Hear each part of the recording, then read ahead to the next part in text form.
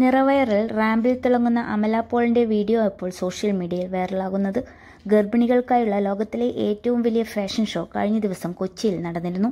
Kinder hospitals കൊച്ചിയും K L F Nirmal cold press virgin coconut ഓയിലും സംയുക്തമായി അവതരിപ്പിച്ച Kinder താരാട്ടഴക് season three ആണ് കൊച്ചിയിൽ അരങ്ങേറിയത്.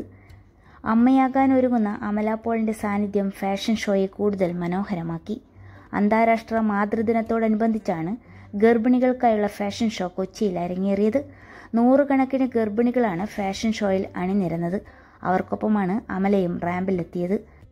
ജീവിതത്തിൽ ഏറ്റവും സന്തോഷം നിറഞ്ഞ നിമിഷങ്ങളിലൂടെയാണ് കടന്നു പോകുന്നതെന്നാണ് ഷോയിൽ പങ്കെടുത്ത് സംസാരിക്കവേ അമല അപ്പോൾ പറഞ്ഞത്.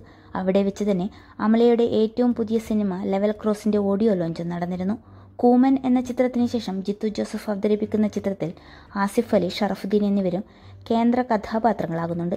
ലെവൽ ക്രോസിന്റെ ഓഡിയോ ലോഞ്ചിന് ആസിഫ് അലിയും എത്തിയിരുന്നു. പരിപാടിയിൽ പങ്കെടുക്കാനെത്തിയ ആസിഫ് അലി അമല പോളിനെ ഹക്ക് ചെയ്തിരുന്നു. വീഡിയോ വൈറലായതോടെ ആസിഫ് അലിക്കും അമല പോളിനും നേരെ അധിക്ഷേപ കമന്റുകളാണ് നിറയുന്നത്.